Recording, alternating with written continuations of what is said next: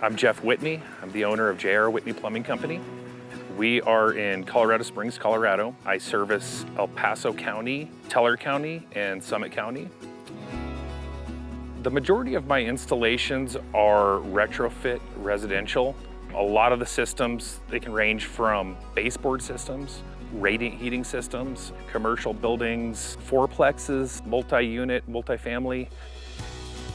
Triangle tube works well for me because it's so versatile. This home, when we started, had a copper tube natural draft boiler in it, and uh, we had the space and the ability to save this gentleman money on his utility bills.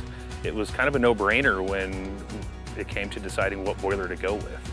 With the five to one turn down ratio, on average, this thing is low firing to maintain the temperature in this house, where in the past, uh, we had a 300,000 BTU boiler that just was short cycling on and off.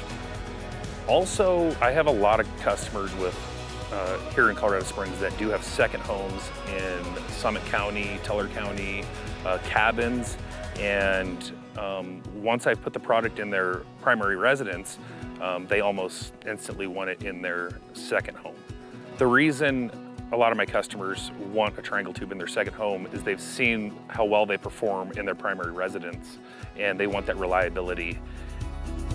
It just gives them peace of mind knowing that their home is going to be heated without having any interruption whatsoever.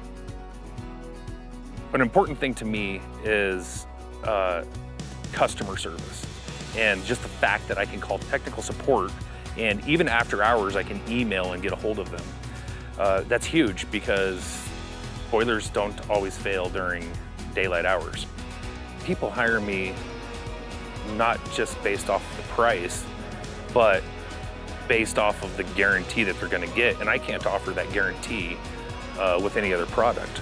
So that's another reason I use Triangle Tube.